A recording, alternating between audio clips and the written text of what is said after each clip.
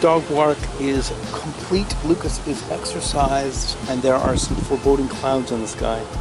I was hoping to get more reading done today because yesterday was a pretty idyllic experience. Uh, but I'm a little worried that. Uh, hi, Lucas.